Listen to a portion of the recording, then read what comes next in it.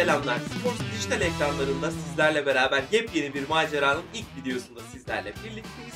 Bu program içeriğinde Fenerbahçe'nin ilgilendiği oyuncuları yakın markajı alacağız.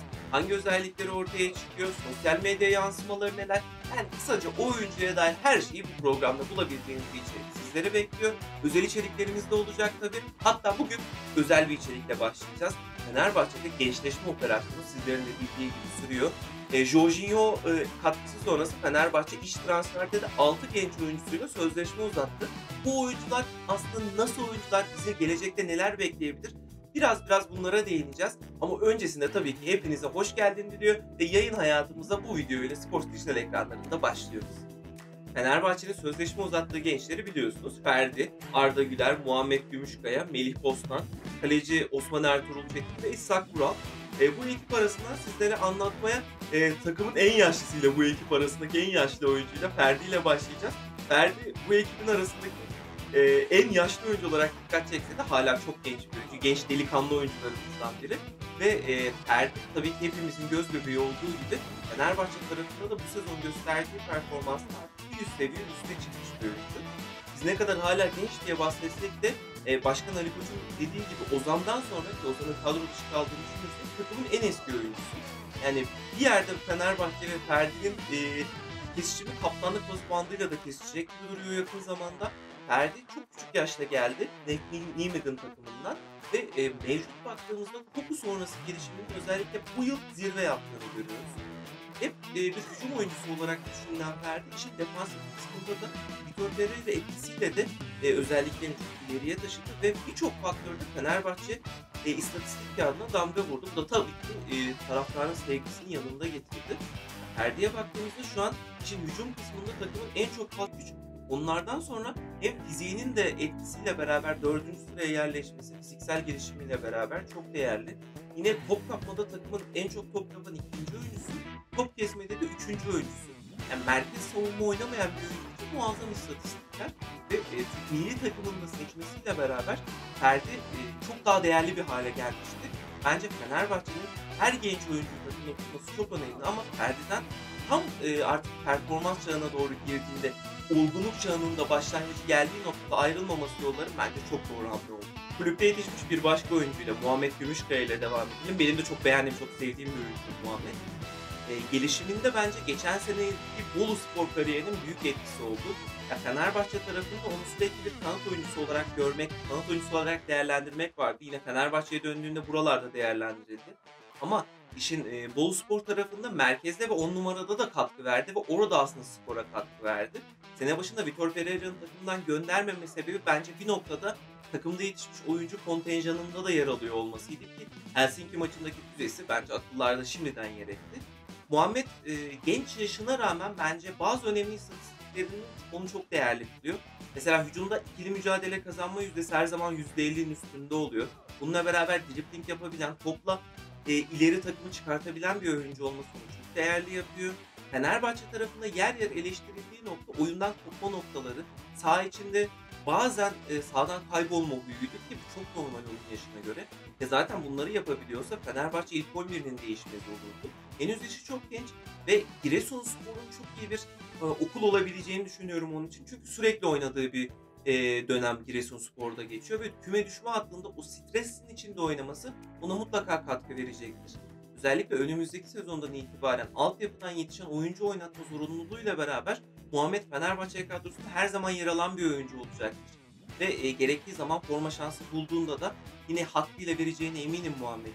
Fenerbahçe'de şu ana kadar olan istatistikleri bence ikinci yarıda da takımda kalmasını gerektiriyordu. Ama onun Giresunspor'a kiralanma kararı biraz daha oyun ritminin gelişmesi ve e, daha çok forma şansı bulabilmesi üzerineydi. Ben önümüzdeki sezonki kadro planlamasında Muhammed'in takımın bir parçası olacağına inanan taraftayım. Şimdilik Giresunspor'da başarılar dileyelim ona. Dönüşünde Fenerbahçe kadrosunda önümüzdeki sezon neler yapacağız hep beraber göreceğiz. Fenerbahçe'nin genç kalecisi Osman Ertuğrul Çetin'le devam edelim burada. Fenerbahçe kapısından çok erken giren oyunculardan biri Ertuğrul.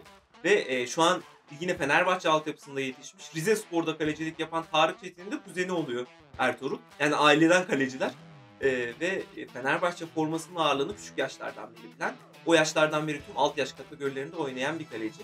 özellikle önümüzdeki sezon Fenerbahçe kadrosunda Berke'nin olmaması, olmayacak olması sebebiyle Altay'dan sonra acaba ikinci kaleci Ertuğrul mu olacak? Araya bir tecrübeli bir kaleci mi alınacak? Göreceğiz. Ben o noktalarda genç bir kaleci alınmaktansa daha Premier Lig kafasında araya bir tecrübeli kaleci yani 30 yaş üstü, 32-33 yaş üstü bir e, gerektiğinde forma giyebilecek tecrübeli kaleci alınması gerektiğini düşünüyorum. Çünkü Altay'da sakatlık dönemlerinden zaman zaman çok çekebilen bir oyuncu. Sezonda 4-5 maç gözleri kaçırabilen bir oyuncu Altay. Onun yokluğunda araya e, tecrübeli bir oyuncu koyup onundan sonra 3. kaleci olarak Ertuğrul'u değerlendirmek bence daha mantıklı olabilir planda.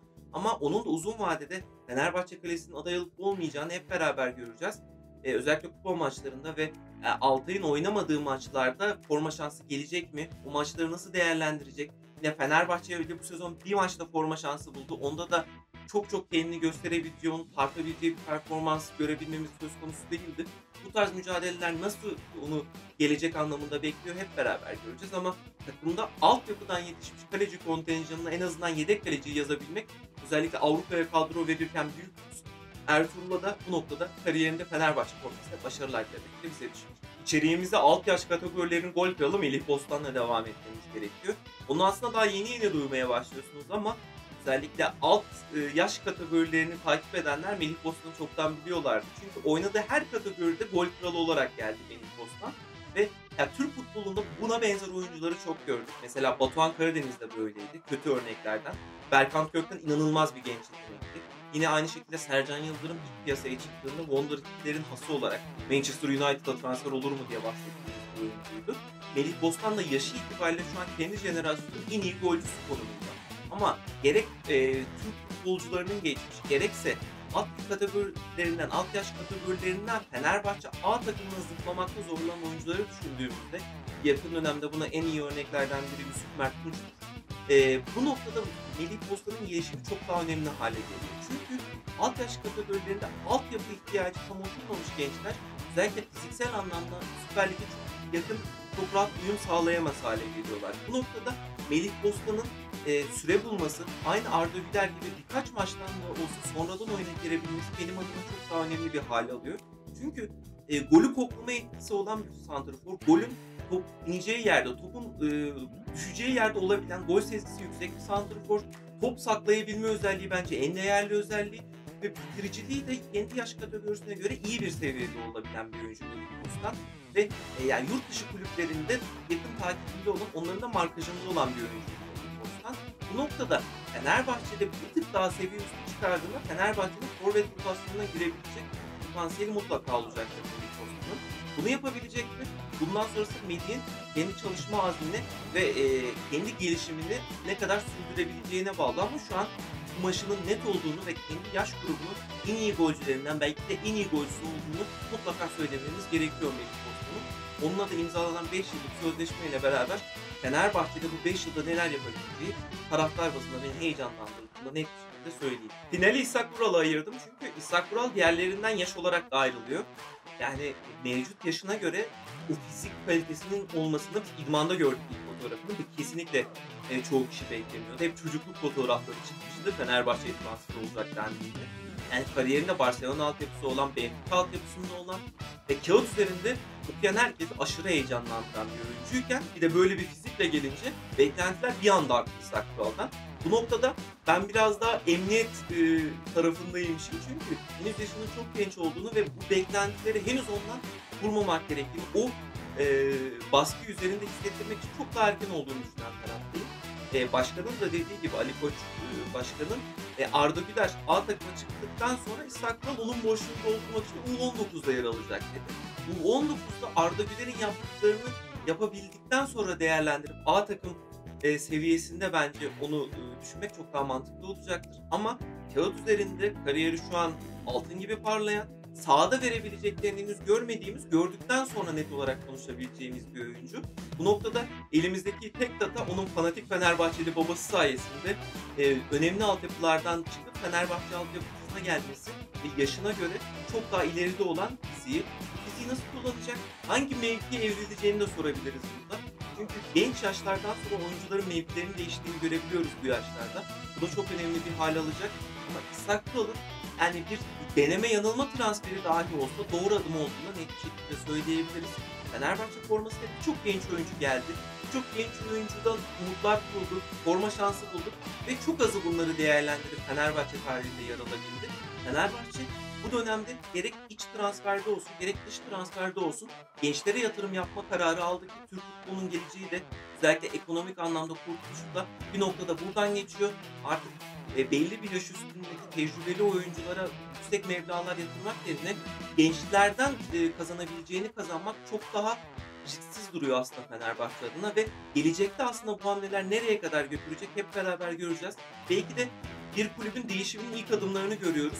Tutacak mı? Hep beraber göreceğiz ama tutmazsa en azından e, tecrübeli oyunculara milyonlar akıtmaktan daha az risk olduğunu da net bir şekilde söyleyelim. Bizi dinlediğiniz için çok teşekkür ederiz. İlk programımızın sonuna geldik. Gelecek programlarda görüşmek üzere. Kendinize çok iyi bakın efendim. Hoşçakalın.